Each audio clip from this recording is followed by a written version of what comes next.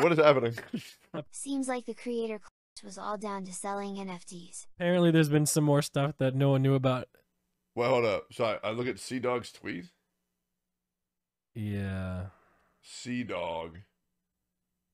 but no, but me and you are we don't we're not a part of this. Oh, okay. So I, is this it? So I'll just be real with you guys. I accepted to join the Creator League, not fully understanding the tech behind it. Needless to say, with the current information available, I'm planning on withdrawing. I was not told or made aware at any point. Oh no. I'm not a part of this, guys. All right, cool. So me and you, we're not a part of that. well, essentially they told nobody. So Oh, okay. Well, how did that? How did? Okay.